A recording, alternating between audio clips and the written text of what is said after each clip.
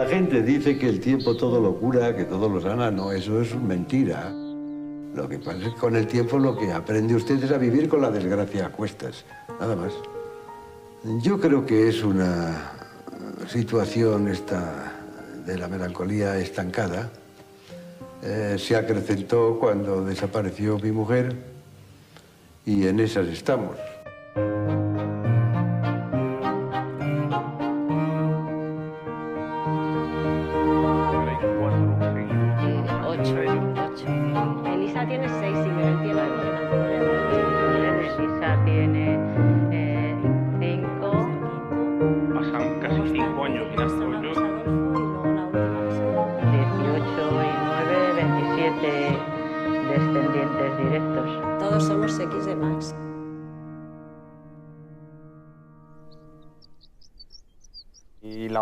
Era en ese sentido? ¿Qué, qué papel jugaba?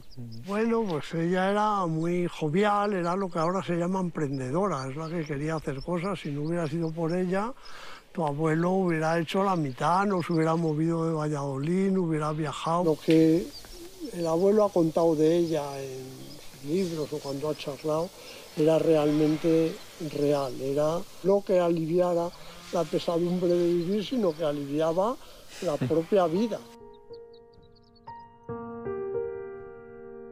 Una mujer que con su sola presencia aligeraba la pesadumbre de vivir. Cuando estaba ella, entonces pensé que sería capaz de escribir una obra importante, una obra ah, importante, sí, genial.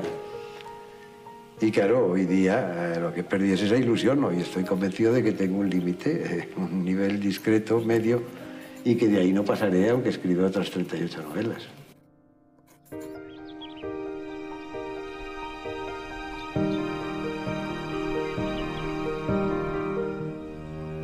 Fijaros estos cipreses lo que han crecido. Tenían mi altura y fíjate qué altura tienen, que ya se pueden ver desde la cabaña y desde la casa de arriba. Yo creo que ya se ven. Pero ¿cuál fue la primera casa que...? La primera casa fue la pequeña de arriba y esta pues debe tener casi 50, entre 48 y 50 años. Se enamoró la abuela de la casa, pero casi prácticamente no, ella no la pudo disfrutar. Yo creo que la casa se compraría en el 71, 72 y ella murió en el 74. Lo ponen Señora de Rojo. Eso figura, es la casa que figura en Señora de Rojo sobre fondo gris. De esta vieja casa, con dos siglos a cuestas, se enamoró hace años. Observaba apesadumbrada su ruina progresiva, su desmoronamiento. Pero le atraía tanto esta casa que cada vez que dábamos un paseo se detenía ante ella. Analizaba su original construcción. El balconaje de hierro, los enjutos ventanucos al norte con minúsculos cuarterones móviles. Una tarde se introdujo por el hueco de una puerta lateral y quedó prendada de la solidez de su fábrica. El envigado, los puntales, las sólidas zapatas, el entarimado de tabla ancha con quejidos dolientes cuando se pisaba.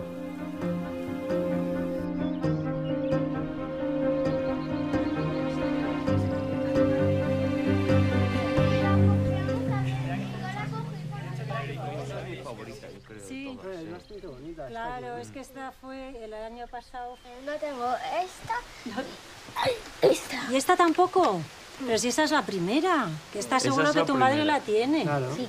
Nada más morirse el abuelo en 2010 y entonces pues nada, pensamos hacer una camiseta, no sabíamos qué, como era un poco un homenaje a nuestros padres y el abuelo Miguel firmaba Max en, la- en sus cuadros que hacía. ¿Y este año tenemos camiseta? o- Sí, este año hemos hecho un polo con el logo que nos hizo Forges en 2014. Y nada, es la décima clásica Max. Entonces esta va a ser la que vamos a llevar todos esta tarde.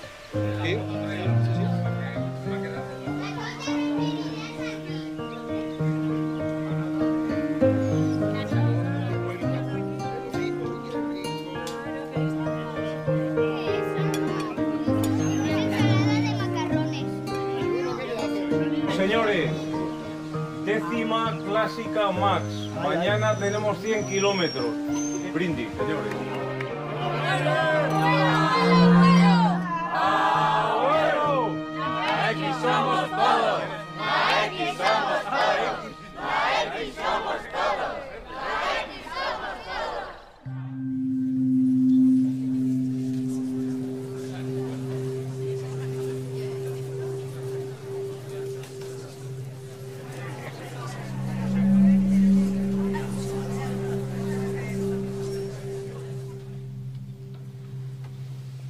Mujer que con su sola presencia aligeraba la pesadumbre de vivir. ¿Puede decirse de alguien algo más hermoso? Quizá por eso, en la etapa en la que cuidaba de García Elvira, él le pintó el famoso retrato con el vestido rojo, el collar de perlas y guantes hasta el codo. Mi gran curiosidad por ver cómo resolvía el fondo del cuadro no quedó defraudada. Lo eludió. Únicamente una gran mancha gris azulada, muy oscura, en contraste con el rojo del vestido me asaltaron unos celos estúpidos.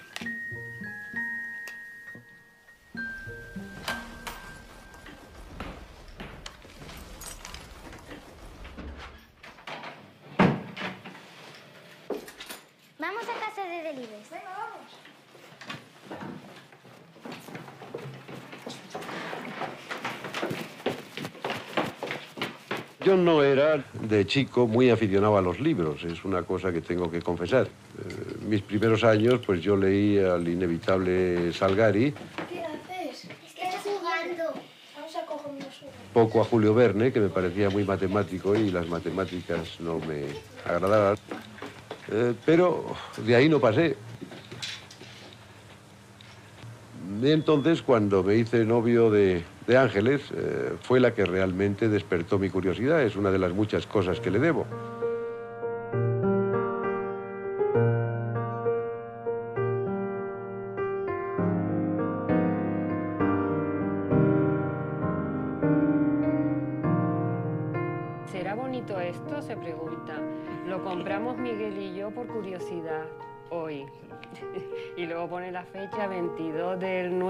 44. Se hicieron novios en 1939, lo que pasa que ellos aseguraban, ¿te acuerdas? Cuando nos lo contaba, que no tenían ni una peseta, Sí. ni para tomar un café. Entonces me extraña que tuvieran para libros, que sí que debía ser muy barato, pero también es conmovedor. Y se regalaban libros que se ve que eran libros muy malos, pero ellos les encuadernaron y todo, en piel y demás.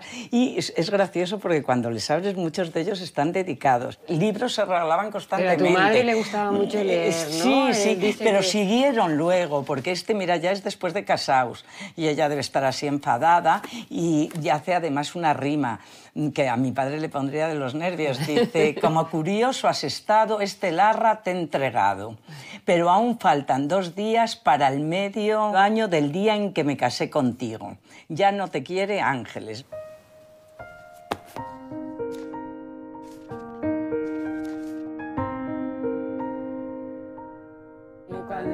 Murió tu padre encontramos ahí el, el cuadernito. Sí, yo guardaba poco, quiero Y decirte. yo creo que él ni no- se acordaba que lo tenía Por eso, ahí. posiblemente lo hubiera destruido, que tampoco es que hubiéramos creo. destruido un Y Picasso, sí. pero bueno. Y a partir de un cuentecito que era La bruja leopoldina, fue Max. Bueno, fue una manera eh, romántica y juvenil de firmar mis monos, mis dibujos. M era Miguel, A era Ángeles, que entonces era mi novia, y X era la incógnita del, del futuro.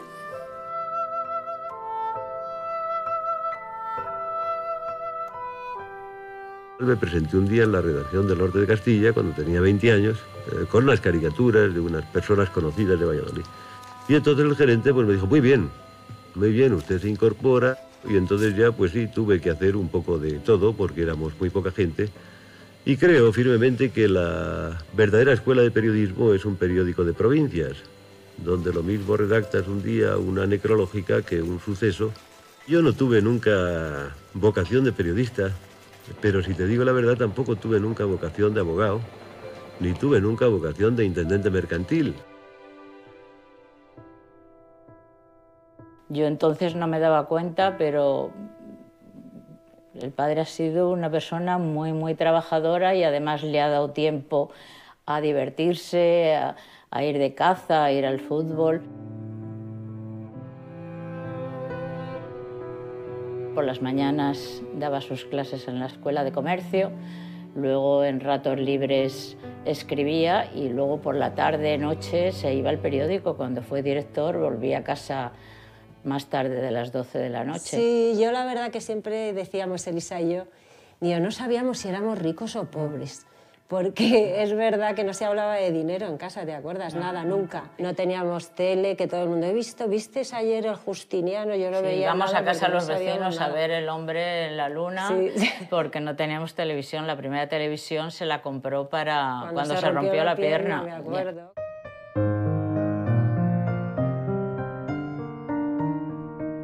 Conviví con mi padre 58 años, desde que yo nací hasta que él se murió. Soy presidenta de la Fundación Miguel Delibes, mm, eh, pero yo no he hecho nada, no tengo ningún mérito para ostentar ese cargo tan ostentoso. ¿eh?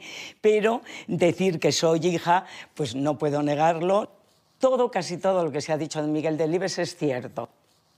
Él era depresivo por naturaleza, como lo demuestra la mayor parte de sus obras, con una visión muy, muy negativa de la vida, casi determinista, que hemos heredado muchos de los hijos.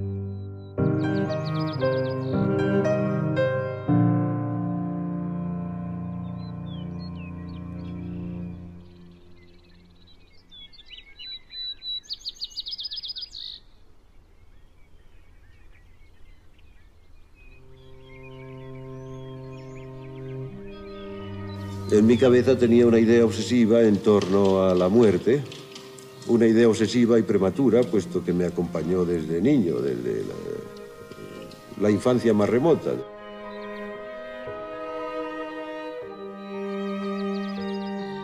Lo cierto es que la muerte para mí era una obsesión, no solo como posible protagonista de esa muerte, sino como oh, hombre que tendría que soportar unos desligamientos, unos desasimientos eh, cuya sola idea me atormentaba.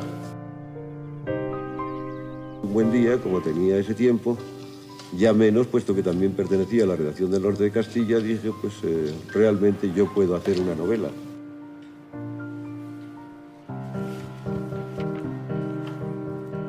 Porque yo considero La sombra del ciprés una novela floja, que tiene un desarrollo admisible, es lo digo admisible en su primera parte, pero totalmente inadmisible en la segunda parte.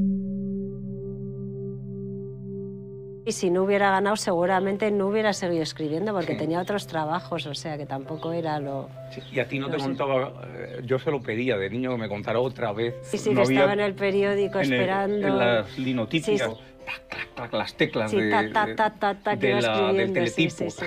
las teclas del teletipo. Y era muy gracioso, la verdad. Y era una historia emocionante, porque Muy es que es verdad que tenía. ¿Cuántos años tenía? 26. Pues no me acuerdo. o pero 27, debía- pero jovencísimo. Y- Y, y claro, el golpe del Nadal debió ser muy, muy afortunado, vamos. A partir de este momento yo no había nacido todavía, pero la vida de mis padres lo sé mucho por las cartas que mi padre escribía a su editor, Vergés, que se hicieron muy amigos. Es una locura. O sea, no para de tener hijos, no para de escribir novelas. y luego yo le veo como un hombre infinitamente más humano de lo que fue después. Le sentaban fatal las críticas negativas, quería vender muchos libros, quería que sus libros estuvieran en los escaparates de, las tiendas, cosa que al final de su vida pues ya le pareció que ya había demostrado que valía y se acabó, ¿no? Yo cuando escribí La sombra del ciprés creía que, había que hablar de una manera petulante y un poco artificial, ¿verdad? buscando las palabras difíciles y raras y bonitas. Y luego me di cuenta de que no, de que había escogido un mal camino para empezar. Al destronador de todos los príncipes, a Guillermo, mi primer bisnieto, primer delibes de nueva generación, con muchos besos y todas las bendiciones de su bisabuelo Miguel Delibes. Me dice una amiga mía que sí tengo eh, muchos libros en mi casa y pues sí tengo bastantes. A mí dicen que es impresionante que sea el bisnieto de Miguel Delibes porque era una persona muy famosa, muy como muy de Valladolid, que toda la gente le quería. Se quedan impresionados. Daniel, el mochuelo. El protagonista de esta historia es un niño de ojos redondos y verdes a quien todo el mundo llama mochuelo. Aunque no tiene ninguna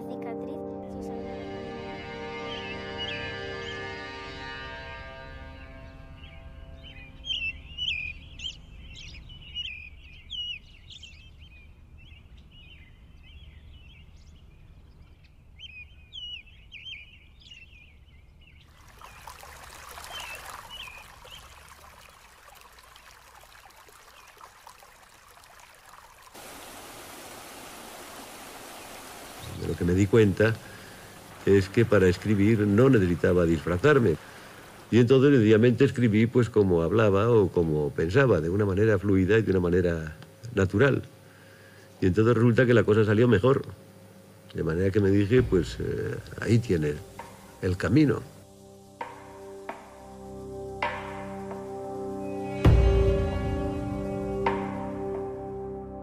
Fue un libro muy celebrado, no solo en España, sino que tiene 15 o 16 traducciones. Y quizá a todo el mundo le gusta porque la infancia de todo el mundo coincide en un punto, en el punto de las travesuras, a los 12 años, creo que coincidimos todos.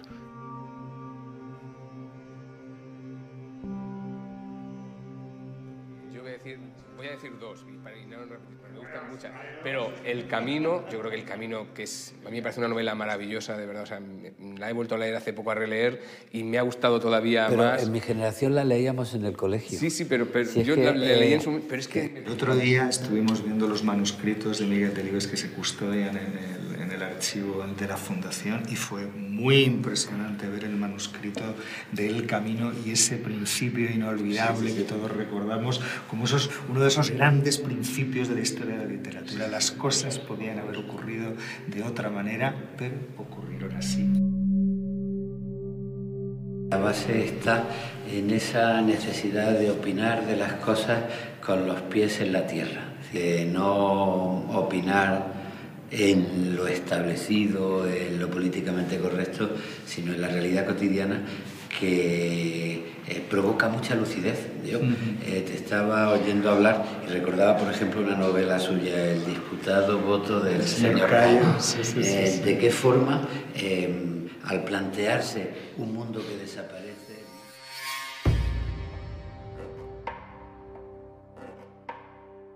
eh, en medio de unas elecciones y de unos señores que llegan de la ciudad a pedir el voto en un pueblecito, un símbolo de- del mundo rural, de pronto, como eso deja de ser eh, una reivindicación limitada para iluminar muchas cosas de lo que después se ha ido viendo, los peligros de la política como sociedad del espectáculo, como mentira, como discursos aprendidos. Aquellos viejos eh, que eran la sal de los pueblos, que sabían cómo se llamaba cada, cada planta, que sabían cómo se llamaba cada árbol, cada pájaro, pues han desaparecido, van muriendo, no quedan señores callos en el campo. El abuelo antes contaba historias y los nietos le escuchaban boquiabiertos. Hoy día ya el abuelo no tiene nada que contar.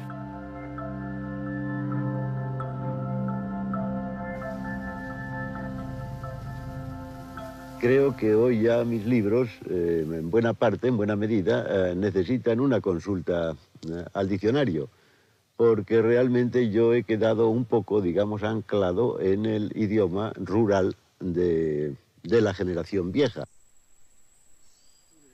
Yo recuerdo, claro, muchísimas palabras que conoció conmigo. Cuando íbamos a hacer entrevistas en los pueblos, al piñero, al pastor, etcétera, etcétera, él veía la vida pues con ojos de novelista y cuando conocía a un personaje o, a o veía un paisaje, pues él había- a veces veía una novela y otra vez no la veía. Íbamos un día por Sedano en el coche con nuestros padres delante y detrás dos señores y yo. Nuestra madre sacó una libreta y vi que apuntaba palabras que decía el que iba El raro. en el coche, sí. Y entonces yo tendría siete, ocho años y al bajarnos del coche le dije, ¿por qué apuntabas todo lo que decía? ¡Ay, qué horror! Que me veíais desde atrás. O sea que lo puede haber visto él. Horrorizada de que él lo hubiera visto. Y es que el padre le había dicho, tú apunta todo lo que te suene raro.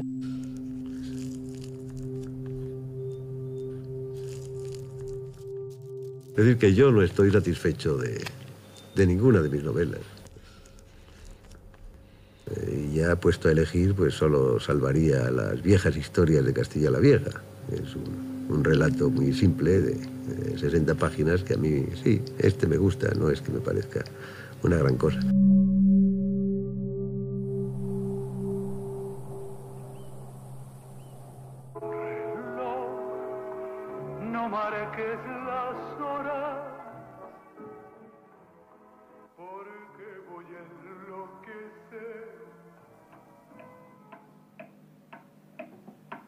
Hay que llevar toda una vida acercándose domingo tras domingo al campo castellano eh, para ver hasta qué punto de abandono o- nos han llevado, ¿verdad?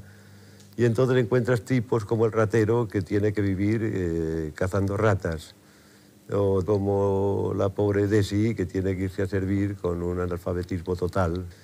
Y en cuanto a mi inclinación hacia ellos, pues es simplemente una cuestión de sensibilidad.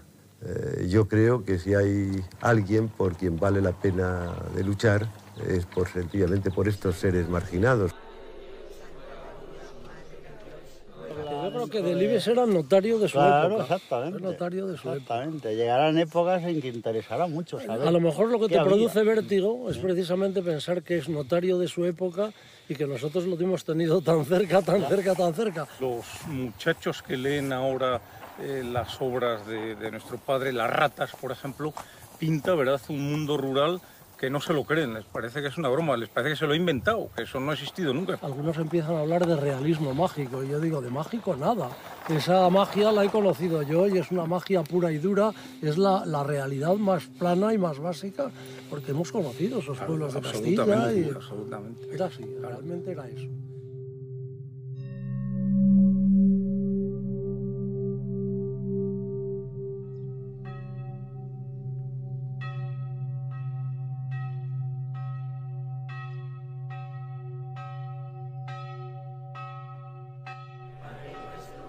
Momento en que la mordaza es mucho más eh, cerrada para la prensa que para la literatura, en la novela se pueden decir cosas que no puedes decir en el periódico.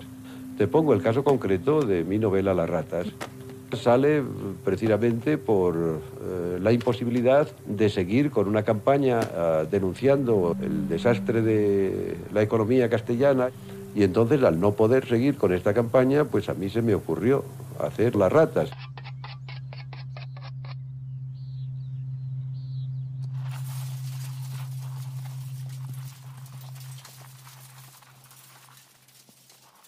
Fue muy, muy combativo en una época y yo creo que le iba bastante eso, o sea, la persecución del periódico que tuvo Sí. hasta dejar la dirección, Sí, que era yo como creo lo que justo, le iba claro bastante, justo. sí, eran tiempos de Fraga y Barna y le dijeron que si él se desmandaba, como el que iba a sufrir las Eso represalias, sí lo sabía, era su segundo. era su segundo, Mm. entonces a él eso le alteraba muchísimo. El aviso de que le iban a detener, lo recuerdo perfectamente. Ah, sí, el vecino nada, del segundo fíjate. Era juez, Que era juez, acuérdate, me acuerdo, y nos sí. advirtió de que estuviera preparado porque Que probablemente venía, le iban a ir a detener. Entonces yo me acuerdo, bueno, a mí se me encogió el corazón. Claro, es que era todo pensando, sí, sí. será las 3 de la mañana, será las 2.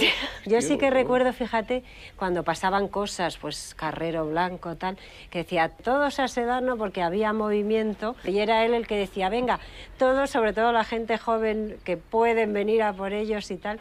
Y entonces Sí. eso sí que lo recuerdo y sí que ha marcado mi infancia como un poco de miedo. Socialmente él era un tío muy comprometido, pero luego los partidos políticos yo creo le desilusionaban todos. Y él, desde luego, pues no, no podríamos decir de si era esto o era lo otro. Yo no lo podría decir ahora, no lo Yo sé. creo que no casi sé. todo el mundo echa de menos que no fuera de lo suyo Sí, sí, y a veces se apropian de ideas. Algunas tardes solíamos sentarnos frente a frente y charlábamos. Yo asentía cuando ella me preguntaba si habían bajado los ángeles, engañándola a sabiendas. Y ella también intentaba engañarme diciéndome que se encontraba algo mejor que la víspera.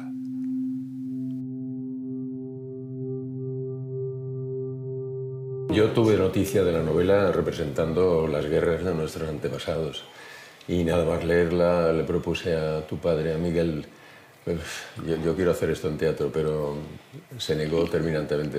He sabido también que no solamente a mí, sino durante muchísimo tiempo Miguel no quiso en absoluto que nadie tocara eso, ¿no? Fue un- Pilar Miró, Pero enseguida que la leyó, quiso hacer una película. Claro, ahora a mí eh, la- la- la- lo que yo experimento a la hora de representar Señora de Rojo son cuestiones eh, ambivalentes, ¿no? Porque por un lado es un trabajo de actor y es un personaje, pero es que cuando has tenido el privilegio de conocer a Miguel Delibes, es al mismo tiempo que un privilegio, es un compromiso. Estas novelas con una base biográfica, pues eh, eh, tienen una composición un tanto anárquica y extraña. Y, en la primera redacción le confieso, o, por lo menos en las primeras páginas, que sentí un, dolor eh, intenso. En fin, creía que me iba a imposibilitar el escribir el, libro. He tardado 15 años en hacerlo.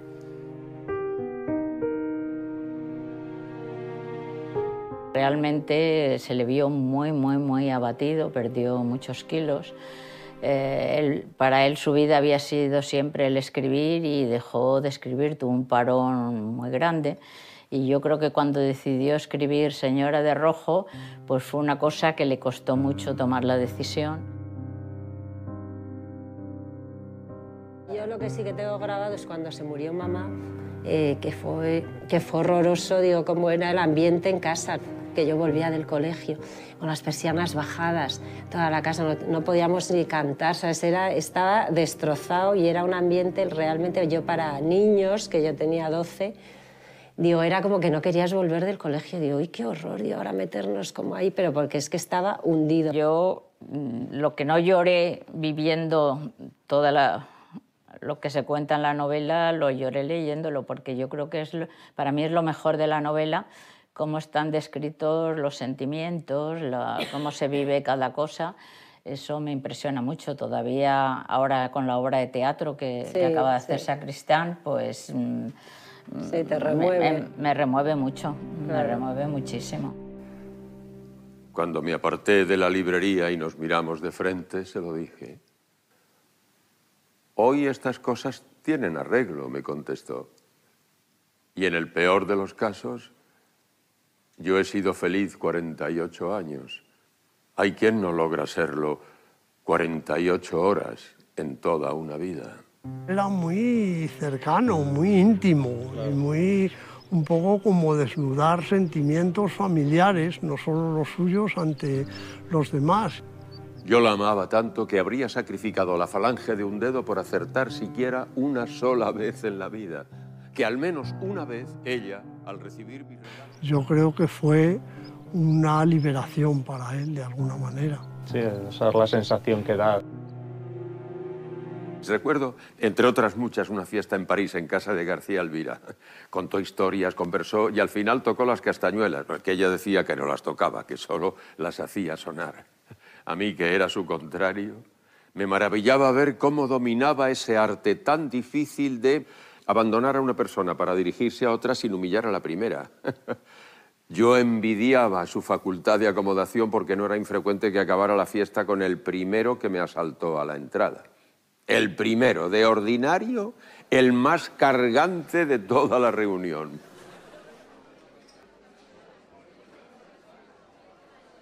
Mi padre era muy pesimista, mi madre muy optimista, mi padre era muy ordenado, mi madre muy desordenada. Entonces sí que se complementaban, él sabía que todo lo que a él le faltaba, ella lo tenía. Pero es que además a ella le divertía, porque podías decir, bueno, qué mujer, una mártir. De No, no, no, a ella la divertía muchísimo ir a las fiestas y tocar castañuelas.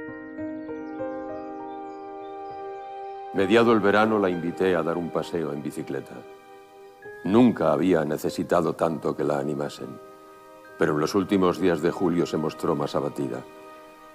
Esa tarde, en la curva del Pinsapo, reconoció que el campo por sí solo no aliviaba la melancolía, que era preciso traer la alegría dentro para disfrutarla. En realidad la, melancolía de Delibes eh, es de larga duración porque representa al ser humano moderno.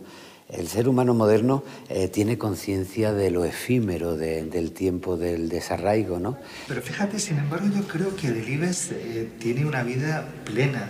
Hace cantidad de cosas pequeñas muchas veces, pero que le gustan y que le llenan y que le hacen feliz. Su padre les enseñó a mirar la naturaleza, a, a montar en bicicleta, a nadar. Yo leído hace poco Mi querida bicicleta, que es una bolita muy finita. Estaba acordándome cuando citabas al padre eh, cómo explica cómo a- le enseñó a montar en bicicleta en el jardín de un familiar, un jardín minúsculo, en el que le dice única, muy escuetamente, mira para adelante, no mires a la rueda nunca. Y le empuja el sillín.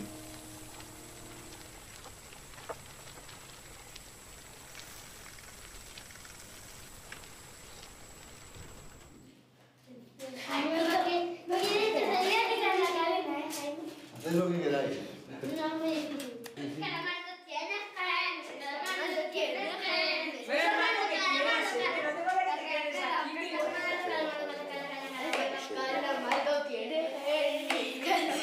¿Cuál es la bici de la abuela? La bici del abuelo, ¿no sabéis cuál es?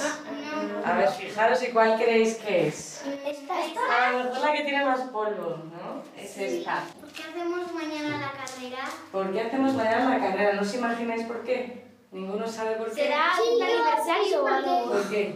Porque el abuelo Miguel de Libes antes vivía en otro pueblo y venía aquí a ver a su mujer en bici. No, no, veraneaba en otro pueblo y venía aquí en bici a ver a su novia, no era su, su mujer. novia. Su novia veraneaba aquí en Sedano. Sí. Entonces le echaba de menos y como no tenía mucho dinero para pagar el tren o el autobús, que era muy caro, dijo, pues venga, voy a ir en bici. El amor hizo que viniera en bici. Y entonces cuando el abuelo se murió, decidimos hacer un homenaje y cada verano hacemos la clásica ciclista y este año se cumplen 10 años de clásica ciclista. Nosotros vamos a hacer lo mismo. Yo creo que hay que hacer una carrera de niños, ¿verdad? Porque ya hay tantos niños en la familia. No, no, se la he arreglado yo. Le habían roto la válvula. Bueno,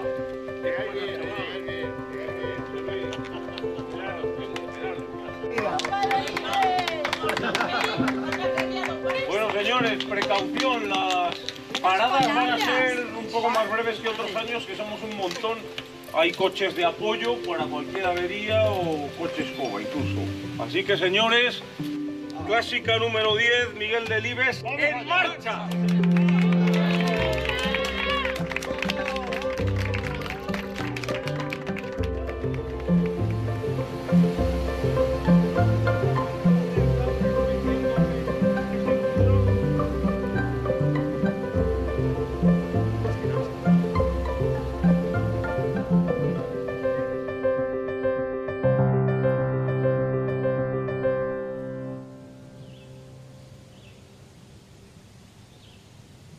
En Sedano éramos todos, él y nosotros, familia, absolutamente felices. ¿Cuántos meses pasábamos al año? Cuatro, o Cuatro, así. lo que decíamos, Tres de o verano y sí, sí, más fines de semana, y Semana Navidad y Santa. Semana Santa, sí. Y se lo pasaba como un enano, porque es que cazaba, pescaba, eh, pescaba cangrejos y también truchas, jugaba al tenis, jugaba al ping-pong muy bien, hacía Jugábamos paellas. a las cartas por la noche.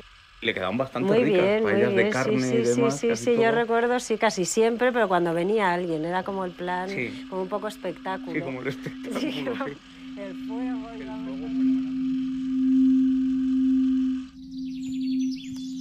Él decía, he pasado media vida al aire libre y si algo lamento es no haber pasado también la otra media.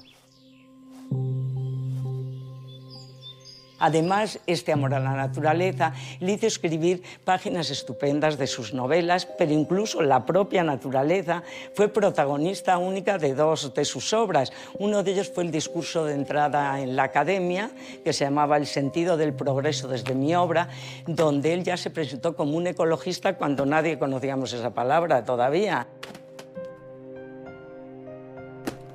Un sitio como la Academia debió llamar la atención que hiciese un manifiesto ecologista de tal magnitud en su discurso, ¿no? Como Él fue no aquello. quería hacer un discurso literario. Él siempre presumió de que no era un intelectual, de que él era un señor que escribía, pero que sabía escribir y nada más.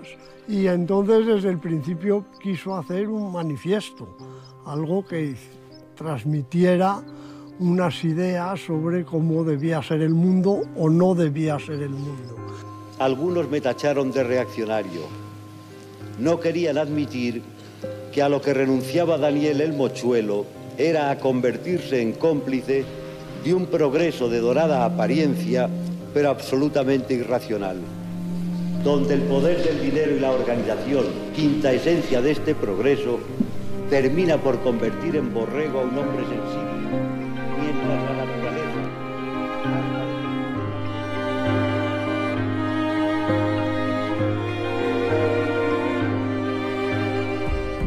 Y ahí fue donde empezaron a decir que era el primer ecologista, que evidentemente no era verdad, pero era el primer hombre célebre, célebre por dedicarse a otra cosa, en este caso a la literatura, que hacía ecologismo en España. ¿no? Pero a muchos académicos les pareció pues, un poco que no era lo que había que hacer allí. ¿no?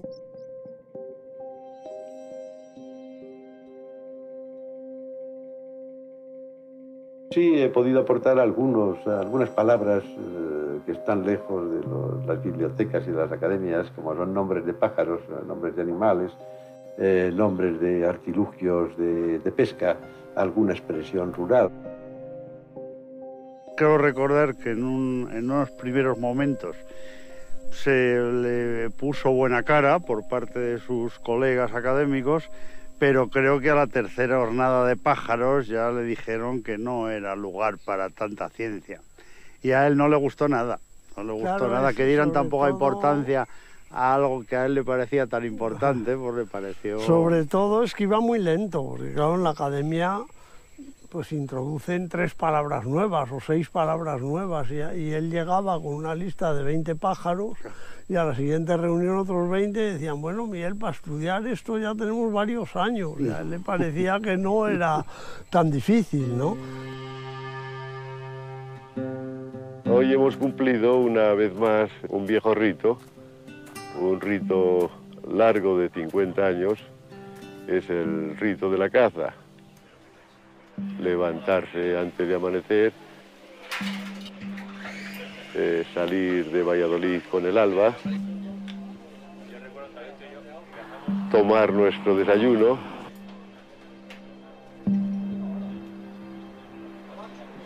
Creo que nuestro padre la primera vez que vino por aquí debió ser a finales de los años 50, comienzos de los 60, cuando le invitaba al propietario de la finca que era Alejandro Fernández de Araoz.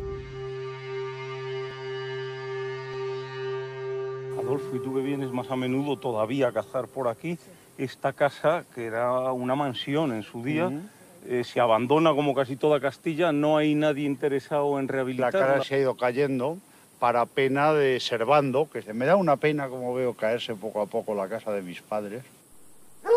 Yo recuerdo el primer día que nos trajo, que me trajo nuestro padre de Morralero, que le acompañó, y recuerdo que vi yo las perdices, vi las cabecitas y me felicitó mucho, cosa que, bueno, me, llenó enormemente. Vas a ser un buen cazador.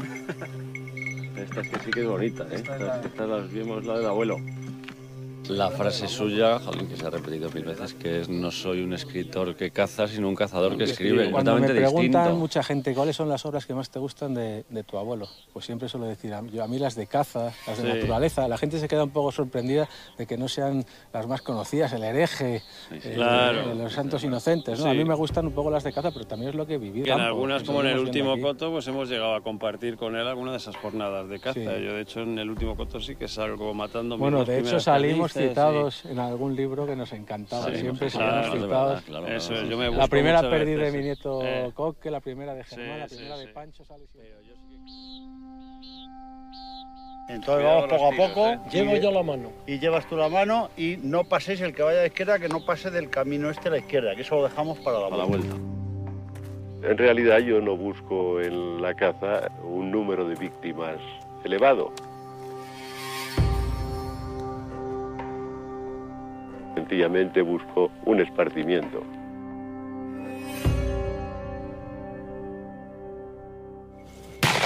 acaba produciendo una gran satisfacción. Es un poco la idea también de nuestro padre, aquella que decía que no era necesario hacer grandes morrales para pasarlo bien en la caza, que lo normal era disparar, no bajar ninguna perdiz y sin embargo irte muy contento a casa. ¿no? Llegar cansado con la satisfacción del deber cumplido y 25 kilómetros en la mochila, que no está nada también mal. que le gustaba cuando le preguntamos, ¿qué es lo que más te gusta del día de caza? Dice, volver a casa y ponerme las zapatillas. No me extraña, sí, sí.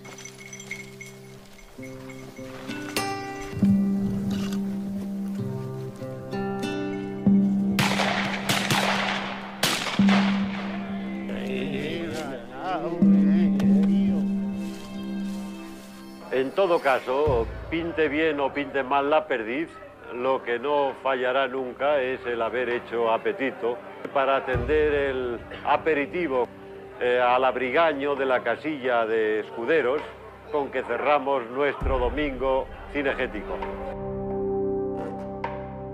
Señores, por Miguel y Manuel Delibes, fundadores de nuestra cuadrilla de casa. Y por José Ramón Delibes, que nos dejó por otra y llevaba de postre un tocinillo de cielo. Vamos allá.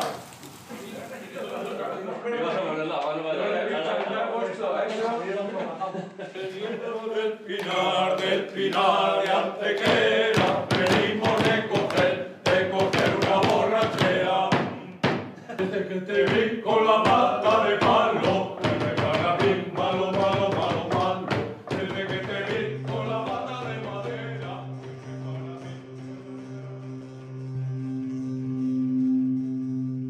personajes tienen eh, mucho de mí mismo. Eh, yo diría que hay siempre en cada personaje una faceta mía llevada al extremo.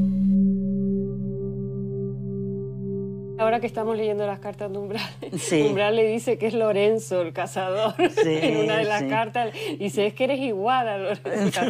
A mí me parece que no, que Lorenzo es un tipo divertido, un tipo divertido totalmente y que mi padre no lo era y que lo sacó precisamente pues al revés, como lo que le faltaba a él. Pero es muy gracioso. Me gustaría más ser como Lorenzo el Cazador, más despreocupado, más alegre, más optimista. Pero realmente yo creo que tengo más de, de Mario Díez eh, Collado. Desengáñate, Mario, cariño. El mundo necesita autoridad y mano dura. Qué manía la tuya que me sacas de quicio. Cada día algo distinto. Eh, quizá lo que yo pretenda hacer en esta novela es eh, eh, proceso de humillación de un modesto intelectual de, de provincias, porque alguno ha querido ver ahí en Mario un, un arquetipo. Es un arquetipo de honestidad, por lo demás es un hombre bastante pesado, eh, bastante rácano cuando la quiere comprar el 600. Yo creo que de Mario tiene muchísimo, muchísimo que se ríe de sí mismo, o sea, cuando da cuenta que si llevaba la faja, Sí, que si sí, se sí, enfriaban sí. los pies, que Claro. si tenía... Pues yo creo que es donde más hay de Miguel Delibes, pero yo no sé si...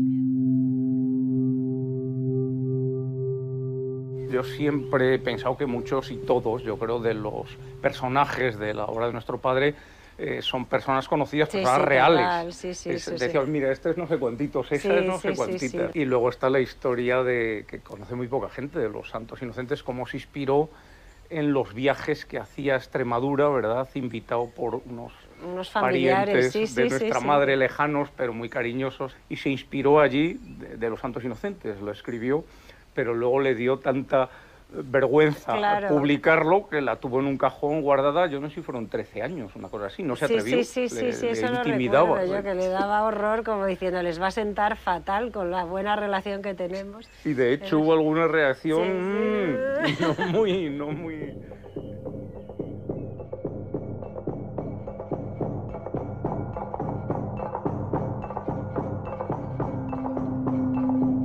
Creo que todo está relacionado por eh, la suerte que ha tenido la literatura de Delibes también con las adaptaciones al teatro y al cine. Yo pienso muchas veces en Azarías representado por Paco Raval y en la manera que decía Milana bonita, Milana bonita frente a la injusticia del mundo. ¿no?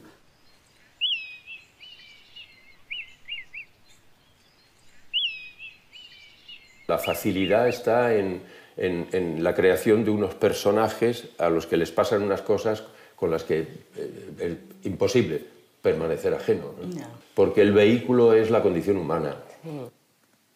A las 7 de la tarde del día siguiente, sin aviso previo, vi venir el piquete de batas verdes, encabezado por la maciza figura del cirujano jefe, por el fondo del corredor en penumbra.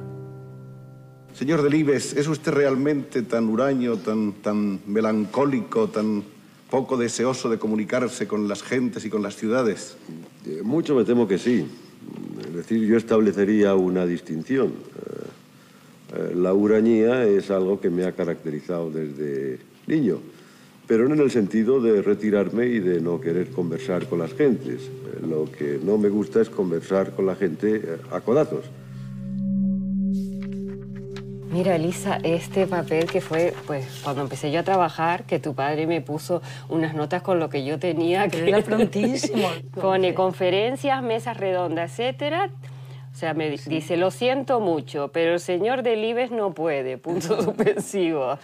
Hace años que no doy conferencias. En todo caso, no, un no enorme.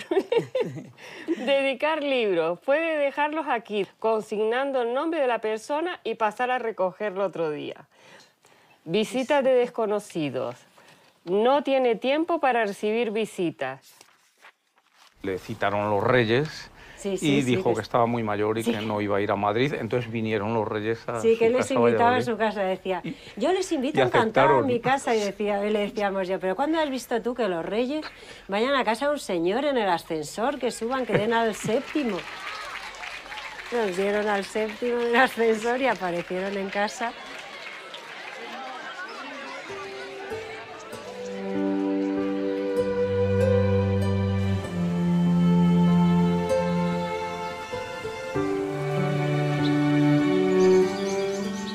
Se ha menospreciado siempre, eh, esos son provincianos, esos son pueblerinos, esos son paletos.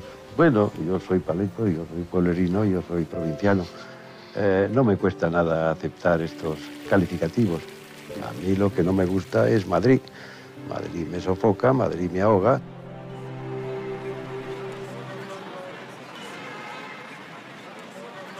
Yo creo que una ciudad más grande le hubiera costado el tema Del mm, país, del país, sí, la sí, oferta sí, que le sí, hicieron para dirigir el periódico y que él, yo creo que dudó bastante. Porque, Sí, no, que estuvimos a punto, si lo te hablábamos, que teníamos Claro. colegio. No, ya no, yo hubo un teníamos- momento que creí que lo había sí, aceptado sí. profesionalmente. Yo creo que era una oferta atractiva para él. Ortega Hijo me dijo que, que tenía mucho interés el Consejo en que yo fuera director del país. Pero le dije que me dejara pensarlo y a los dos días le dije que no, que no podía, que se me hacía muy cuesta arriba y que si además de quedarme viudo me quedaba viudo de Norte de Castilla y viudo de Real Valladolid Deportivo y viudo del Monte de Valdés y viudo de todo lo que tenía, entonces no lo iba a poder resistir. Y entonces cuando aparece en escena este Cebrián. Yo, que en esa época ya era más mayor, lo veía como una oportunidad Claro. de salir de ese pozo. Lo que pasa es que yo veía que era muy difícil que, que él tomara la decisión. ¿Quién no te dice que si se hubiera ido hubiera hecho cosas fabulosas, algo Ya. yo qué sé, o se hubiera enamorado otra vez, hubiera... Pero vamos, que no me parece. ¿A qué escritor español admira usted más? Si eh, quieres que te diga que novelista para mí ha conseguido la diana más perfecta en estos años, te diría que Ferlosio con El Jarama. Y si te di- dijera qué escritor admiro más, te diría que a Francisco Umbral.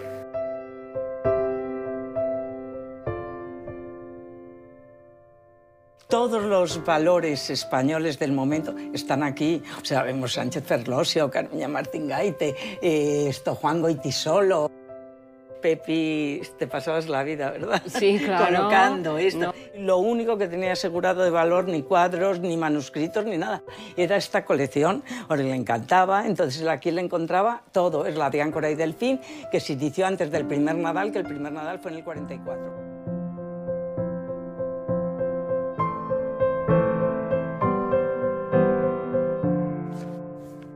Y entonces a mí me pasma porque mi padre trataba muy bien los libros y los cuidaba muy bien. Sin embargo, este, la última vez que fui a mirarlo, yo pensé, voy a leer un poquito del cuaderno gris y voy a- digo, ¿cómo puede estar este libro tan destrozado? Yo creo que lo leería también mi madre un poco, que era menos cuidadosa, ¿sabes? Pero de todas las maneras, él sentía verdadera devoción por Pla. El Nobel llama una vez por generación como mucho. De manera que yo me estoy despidiendo, o me he despedido ya del Nobel. El Nobel ha pasado por la ventana, le he dicho adiós, ha caído en un amigo, me parece estupendo, y todos contentos. Y él decía siempre, yo me alegro mucho que se lo hayan dado a Camilo porque toda la vida estuvo pendiente. Decía, si me dieran el Nobel, que es verdad que salía, y se le hacía mucha más ilusión a él que a mí. Yo creo que es verdad, porque es- él nunca hablaba del Nobel. Sí, es que además- Nunca, yo creo que no. Que... Yo creo que hay que trabajárselo un poco el Nobel. Entonces Sí, nuestro padre no, no se lo trabajó dispuesto, sí, sí, absolutamente yo nada. todavía estoy de y acuerdo. probablemente otros sí que se lo trabajaron más. ¿no?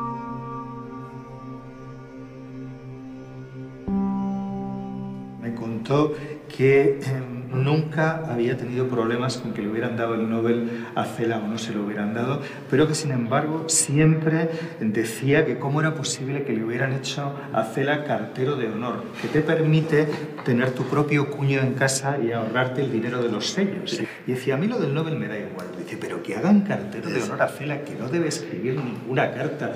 Dice, pudiéndome hacer cartero de honor a mí, que estoy escribiendo todo el día y que me ahorraría un dinero y una serie de molestias y tal, eso creo que da una buena medida de la importancia que daba Delibes a lo de ¿no? A mí me parece que si a Delibes le hubieran dado el Nobel, eh, no se hubiera pasado la vida pensando en el Nobel, hubiera estado pensando en su mujer, en sus hijos, en la España rural que desaparecía o en sus propios límites como persona. A lo mejor por eso es por lo que no se lo dieron.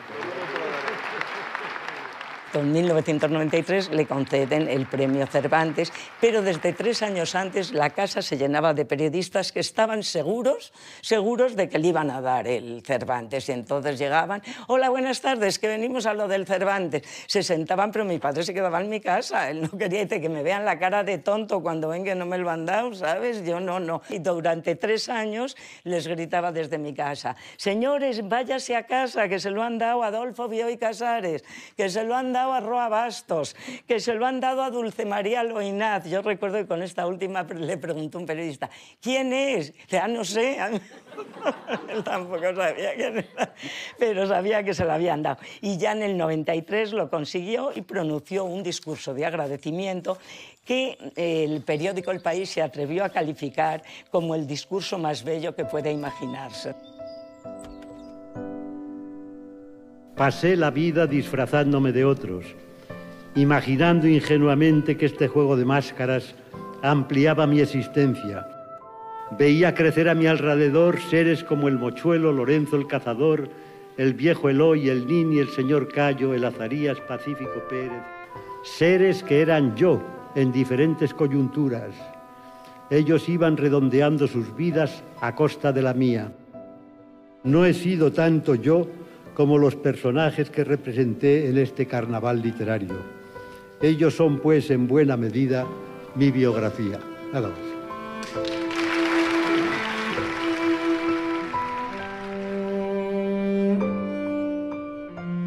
He oído decir a alguien, de algún profesor de literatura, que ha dicho esa obra no la escribió Delibes. Y es de la que tenemos más lo pruebas. es de las dice, que tenemos más imposible, eso no pruebas. lo- no lo- Porque eso, todos los apuntes a máquina, a mano, a Lo todo. hacía tan rápido, cogía todo, que luego me lo pasaba y yo iba pasando que yo todavía no sabía que estaba escribiendo, ¿sabes? Él estaba datos. cogiendo datos, datos, datos. Se documentaba mucho con un profesor mío de historia moderna y entonces iba a hablar todo el rato con él, encantador y hacía, pero que estudió muchísimo, o sea que estuvo, yo le recuerdo Estuvo estudiando, años. años, estudiando, documentándose porque quería hacerlo perfecto. Yo, El hereje es una obra que no tiene nada que ver con, con Con las restantes restos, suyas, sí, una sí, novela sí, sí. histórica que no le pegaba en principio. Puede ser su novela, eh, bueno, que, que más prestigio, que, que sí, más haya sí, gustado sí, a la es verdad gente, que hablan de la que sí. más. En Hungría, en el Instituto Cervantes, me preguntaron, eh, ¿qué le costó más a mm, eh, tu padre? O sea, dejar, tener que dejar de cazar o tener que dejar de escribir. Y es que no lo dudé, o sea, no me lo había planteado nunca. Pero dije, por supuesto, no poder salir de caza. Y él lo pasaba tan mal, él sufría tanto, tanto, tanto. No admitía lo que le estaba pasando, ¿no? Y eso le llevó a enloquecer, o sea, enloquecer todo.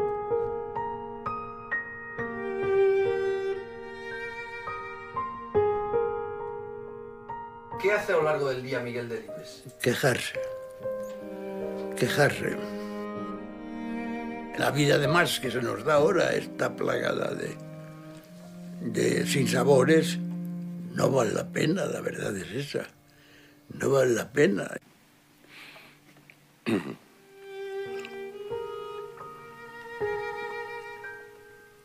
Yo sé que si bebo la dosis justa, la veré. Con tal nitidez que podría describir la expresión de su rostro y los detalles de su atuendo. Algunas mañanas no la veo, únicamente la oigo. La siento acercarse por detrás, haciendo crujir las tablas de roble. Entonces intuyo que me acompaña, aunque no la vea. Es claro que son visiones producidas por el alcohol, pero me valen. Yo ya no puedo vivir sin esas visiones.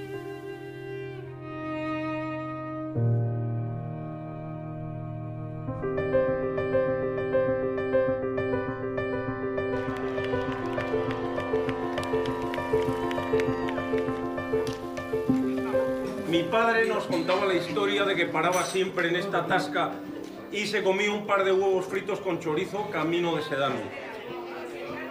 Entonces cuenta que ya con el estómago lleno y la alegría de tener a la novia cerca, se bajaba sin mano las cuestas cantando Soy el hombre más feliz. Venga, dale al chorizo, chicos.